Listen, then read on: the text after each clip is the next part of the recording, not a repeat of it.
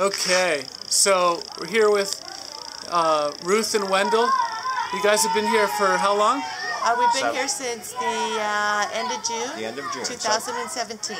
And it's uh, today is January The January. 16th, something, the 16th. Yeah, Okay, so about seven months. seven months. Yes. Good. How did you like it here? It was great. We loved it here. Good. The good. people are great. Uh, the only trouble we've had here is with the government officials, or the dock officials. Yeah. They're not pleasant people. Uh, you can't get any answers from them, even the English-speaking ones, why they do what they do. Uh, today we went to check out at immigration. We ended up paying more to get out of here than we did when we went back home after being here for three months. We ended up paying 4,000 pesos each today to get out of here.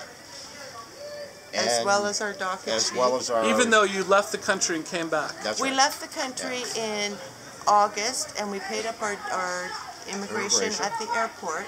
We came back at the end of September and we've been here for just over three months and we paid exactly the same amount of money again to immigration that people paid when they arrived in June and just left in at the same time as us. So we've paid immigration in August and we paid again now and we paid when we arrived. So we've probably paid immigration well in excess of over 20,000 pesos for the two of us since we've been here. For which seven months.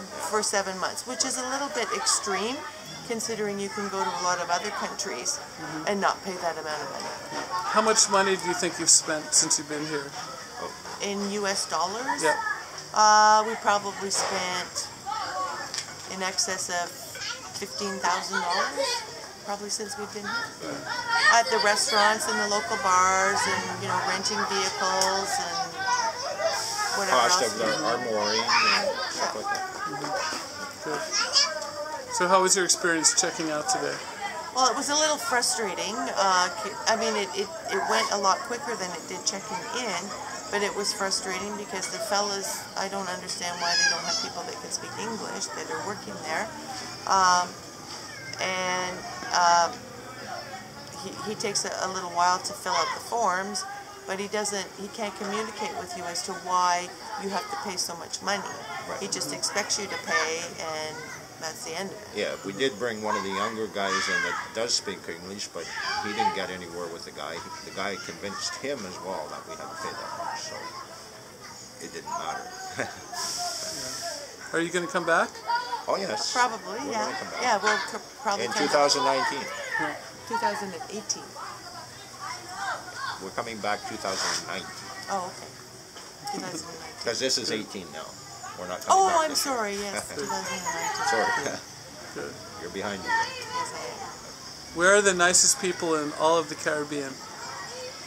Uh, well, because we spent so much time here, we In- in probably Lupa. feel that the people here, they're all very friendly. All the shop owners, they all go out of their way. They all try to They do, help yeah. you. And, uh, And they, ex- even though the English isn't their first language, um, they, they try to communicate with you and make you feel comfortable. And And just an example of that, Norm and Johnny from Wendy's Bar. And Wendy, we met Wendy, and she's a very pleasant person, and she does speak English. But her parents, on the other hand, do not. And they treat us like family. Yeah. We don't speak their language, they don't speak our language, but they treat us like family. When we walk up the street, we have to go over and hug them, or they come to us and we Yeah. hug them.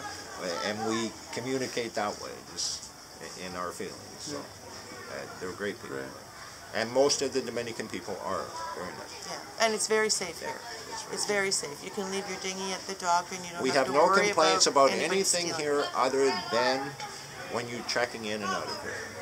And the, the money that it costs you, we don't know if it's right or not. If it's the cost, if that's what it is, fine. But I don't want to pay people if they're ripping you off and putting the money in the pocket. So, i i and if there's something in the harbor that you're paying for, which there isn't, eh, eh, what what's in the harbor that you're paying for? You pay harbor uh, we fees. pay we pay get any moorings services or for it. in our uh, to keep our boat on, but there's no services in the harbor. That We're not for. really sure what the harbor fees are Yeah. for. It's not like they provide, they don't protect the dinghy dock, it's supposed to be for the cruisers only, yet there's fishing boats there, and, so we're not really just too sure Yeah. exactly what the harbor fees are Right. about. Good. I don't All right. mind paying money when it's legitimate, but if it's not, then if it's going in somebody's pocket, it's totally different. Okay. Good. Well, we'll look forward to seeing you in 2019. 2019. Yeah. Please say good things about Luperon.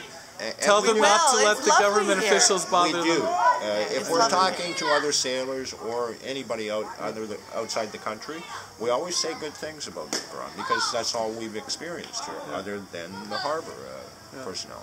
Uh, and some of them, they're not very pleasant. That's all I have to say. Okay. If somebody can do something about that, that's a good, thing. But if not, then we'll just have to put up with it, I guess. But hopefully, the Cruisers Association can change that. Hope so too. Okay. Thank you guys. You're welcome. We'll see you soon. Yeah.